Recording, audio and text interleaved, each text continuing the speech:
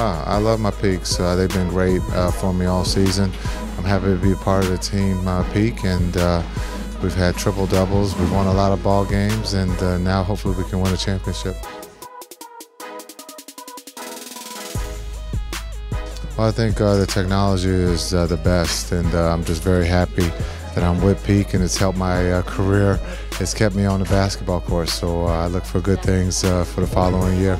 Peak, I can play.